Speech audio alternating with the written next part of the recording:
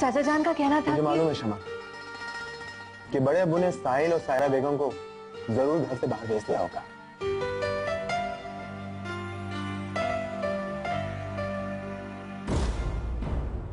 ये लीजिए नंबर। किसका नंबर है? आपकी बेगम का। सारा बेगम का नंबर? ये कहाँ से मिला? मैंने सोचा कि आपके पास तो उनका नंबर है नहीं। जिस दुकान से आपके घर में दूध जाता है उस दूध वाले से मैं आपका नंबर लेकर शाबाश देवा शाबाश। मैंने तो कभी सोचा भी नहीं था कि तुम्हें वहाँ से हमारी सारा बेगम का नंबर मिल जाएगा। शुक्रिया मैं भी फ़ोन करता हूँ।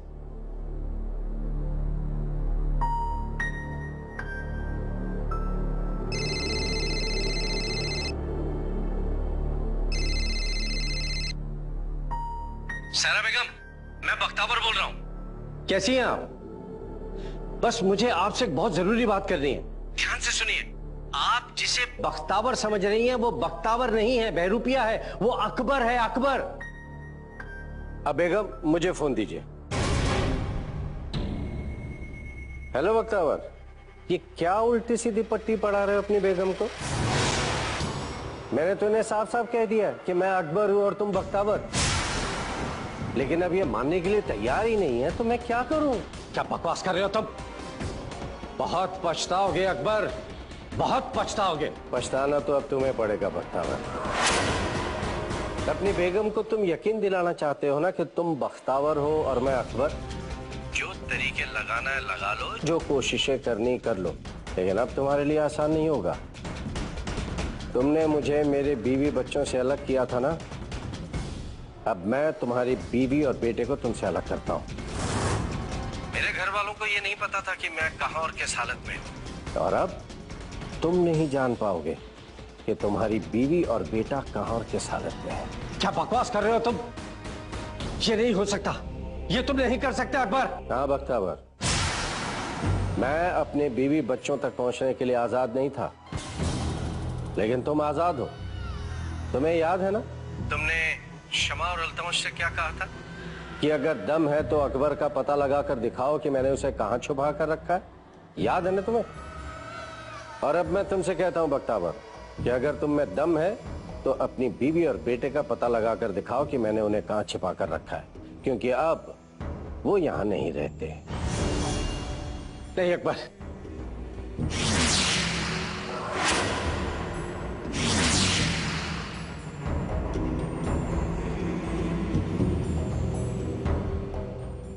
अम्मी जान आप अबू को समझाती क्यों नहीं? अपनी जिद की वजह से वो कोई भी हुक्म देते हैं। इतना बड़ा बंगला होते हुए भी हमें इस छोटे से घर में रहना पड़ रहा है। साहिल वो भला कभी किसी की सुनते हैं? बस एक बार फैसला कर लिया तो कर लिया। लेकिन अम्मी कब तक? कब तक ऐसा चलेगा अम्मी जान? बस कुछ ही दिनों की बात है बेटा मैं मैं समझा दूँगी उन्हें। आप लोग परेशान क्यों हो रहे हैं? हम लोग इस घर में भी आराम से रह लेंगे।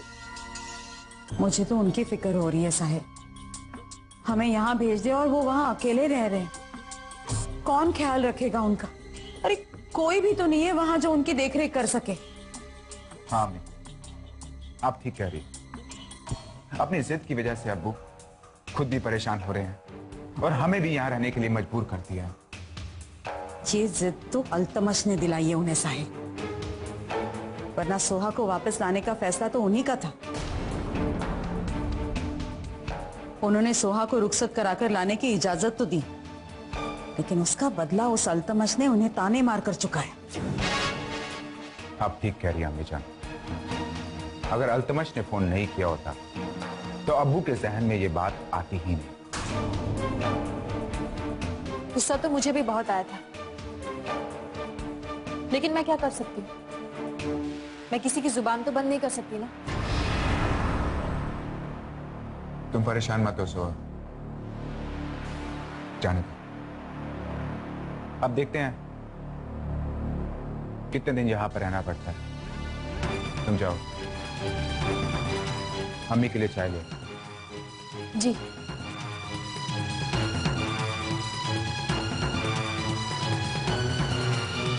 है जमाने के लिए। बख्तावर साहब आपको अकबर ने जो कुछ भी कहा वो सच कहा है। अब आपका परिवार आपके बंगले में नहीं है। वो कहाँ है किसी को कुछ नहीं पता। देवा क्या मैं इतना मजबूर हो गया हूँ? इतना मजबूर हो गया हूँ कि सारा बेगम और साहिल के बारे में मैं पता नहीं लगा सकता। कहीं ऐसा तो नहीं है कि आपके परिवार वालों को उस अकबर ने कैद करके रखा हो? क्योंकि वो कहीं भी जाते तो अपना मोबाइल साथ लेकर जाते हैं। लेकिन अब उनका मोबाइल अकबर के पास। शायद तुम ठीक कहते हो। ऐसा ही कुछ हुआ होगा। अगर अकबर ने सायरा बेगम और साहिल के साथ किसी तरह की कोई बदसलूकी की तो मैं वादा करता हूँ कि उसकी ऐसी हालत करूँगा कि वो ज़िंदगी भर नहीं भूलेगा। पहले ये सोचिए कि उनका पता कैसे लगाना है। वो कैद में है या बात कुछ और है? ये भी तो खबर है देवा कि सोहा उन लोग के साथ है। अगर अकबर ने उन लोग को कैद किया होता तो सोहा उनके साथ नहीं होती। अकबर ने उसे अपने घर में भिजवा दिया। आप ठीक कहते हैं। देवा कल तक अकबर मेरी मुट्ठी में था सोहा मेरी मुट्ठी में थी वो लोग मजबूर थे। लेकिन जब तक सायरा और साहिल उसकी मुट्ठी में है वो कभी भी किसी बात के लिए मुझे मजबूर कर सकता है। अलतमश ने मुकदमे की तारीख भी ले ली है। मुझे ऐसा लगता है कि वो सारा का सारा मुकदमा खारिज करवाना चाहता है। अगर अकबर अदालत में जाकर ये कहते कि मैं मुकदमा नहीं लड़ना चाहता तो हो सकता है केस खुद ब खुद खारिज हो जाए। अलतमश यही करने वाला है। इसलिए उस तारीख से पहले अपने आदमियों को इस काम के लिए लगा दो देवा। किसी भी तरह मुझे सायरा बेगम और साहिल का पता लग जाना चाहिए।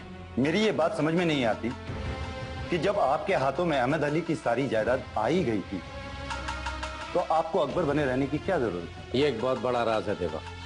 मैं अपनी सच्चाई को किसी के सामने आने नहीं देना चाहता।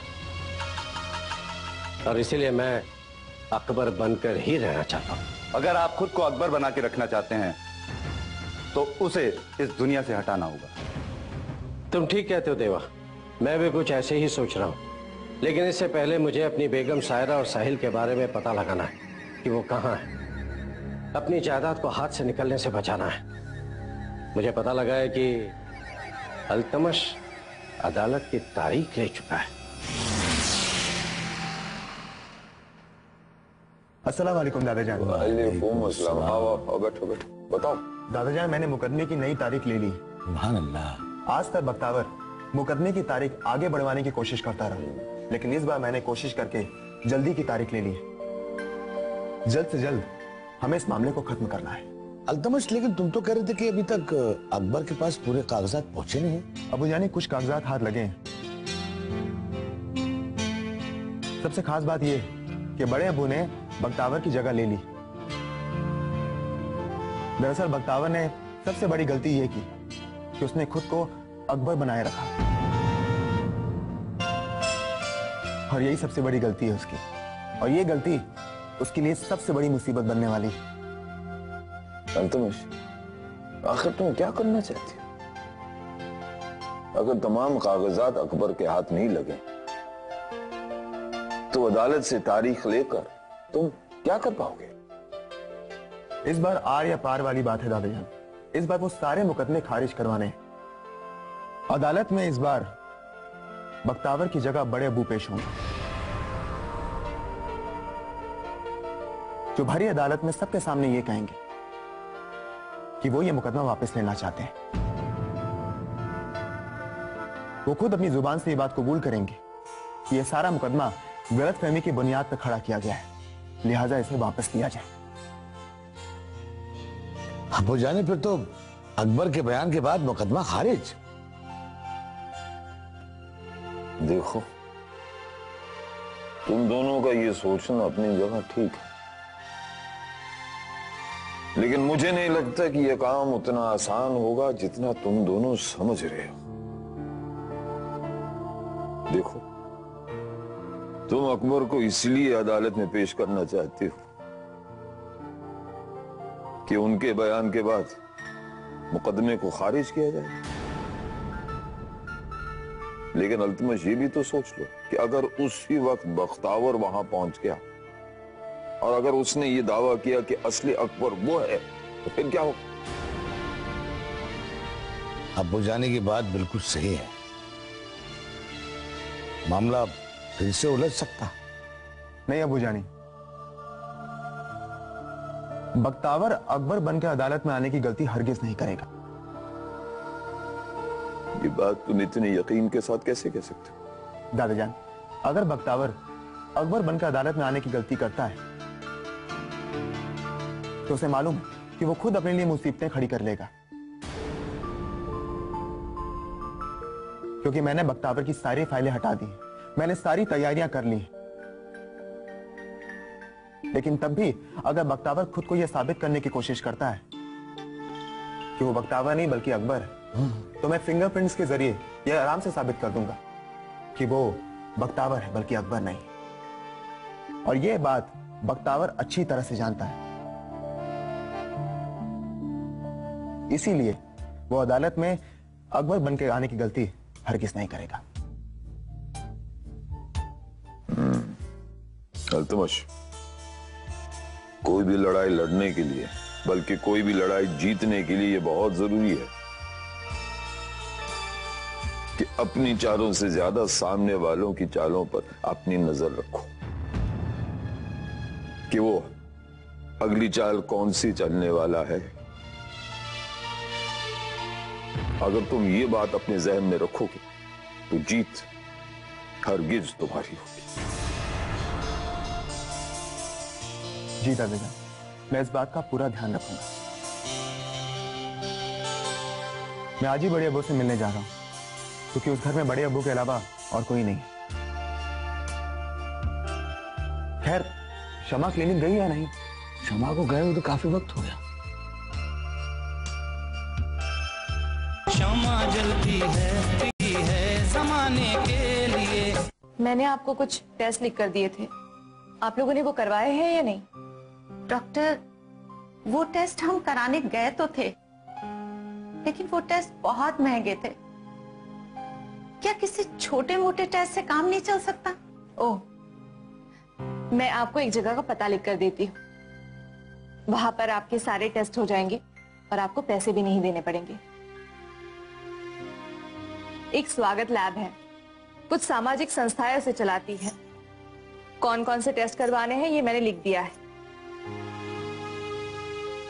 ये टेस्ट करवा लीजिए।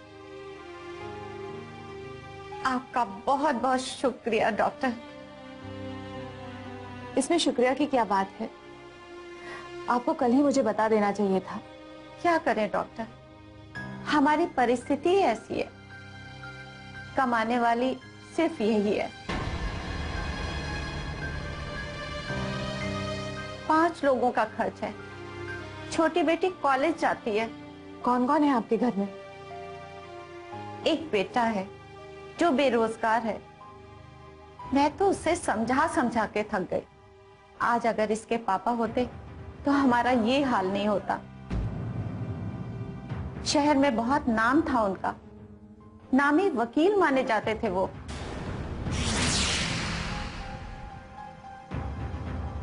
वो वकील थे? हाँ डॉक्टर। पापा बहुत बड़े वकील थे। धनंजय सिंह नाम था उनका। धनंजय सिंह? वो मेरा बहुत अज़ीज़ तरीन दोस्त था।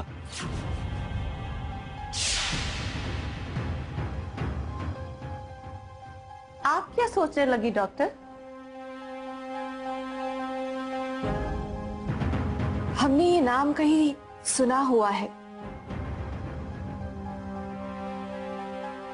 आप हमें अपना पता लिखकर दे दीजिए।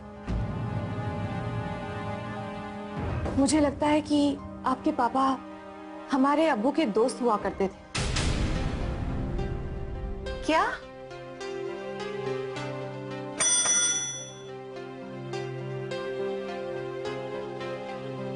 यस मैम इन्हें स्वागत लैब का पता दे दो और जो टेस्ट मैंने लिखे हैं उनके लिए कितने बजे से कितने बजे के बीच आना होगा ये पता करके इन्हें बता दो। जी मैं पता कर लूँगी। आप लोग आइए मेरे साथ।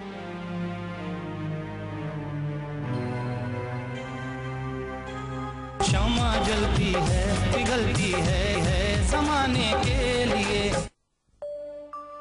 इंशाल्लाह। अल्लाह साथ है। बैठो अल्तमश तो क्या रहा बड़े अब्बू? वो सारी फाइलें वो सारे कागजात आपके हाथ लगे?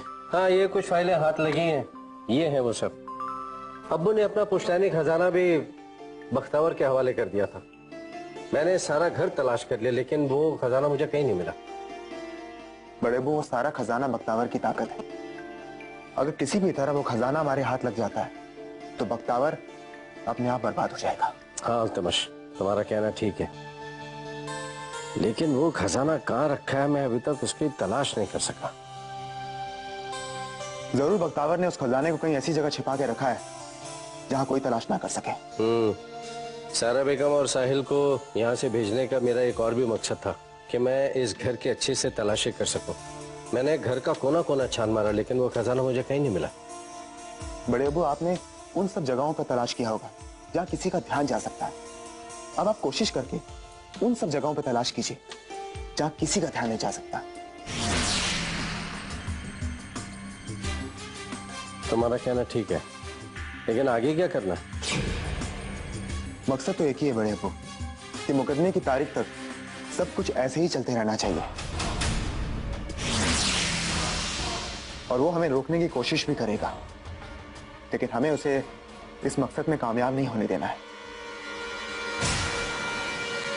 बड़े अबू!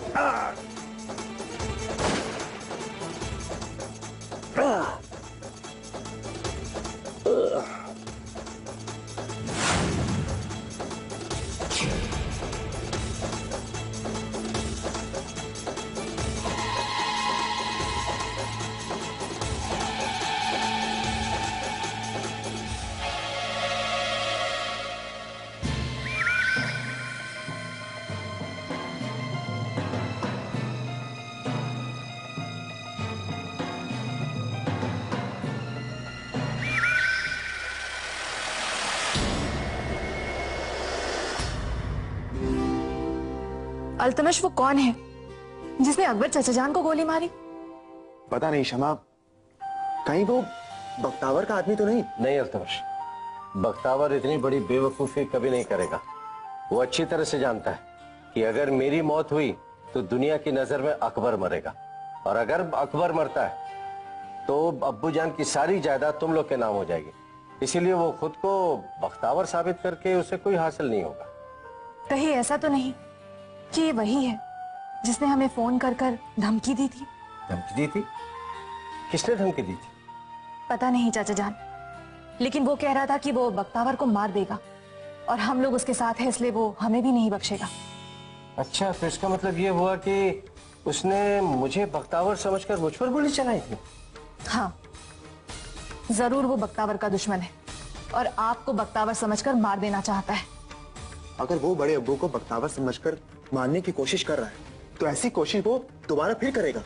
हमें किसी भी तरह उसे ये समझाना होगा कि जिस पर वो गोलियाँ चला है वो बख्तावर नहीं बल्कि अकबर अली है।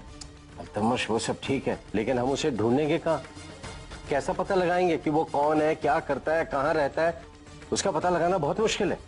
लेकिन बड़े अब्बू हमें पता तो लगाना ही होगा।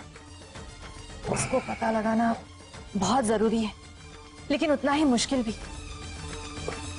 अब हम क्या करेंगे?